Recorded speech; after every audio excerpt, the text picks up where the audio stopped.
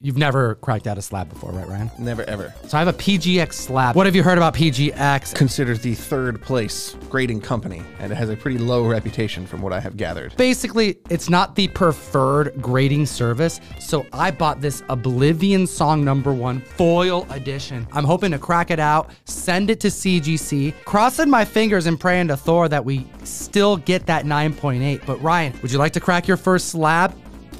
Ah. Do oh, this Ryan. feels so wrong. Oh no, dude! I'm gonna break this comic, man. This is not a good feeling. you can do it. Ah, oh, there it something goes. Pops, something pops. There it goes. There's like another Yeah, layer yeah. in break here. that open, baby.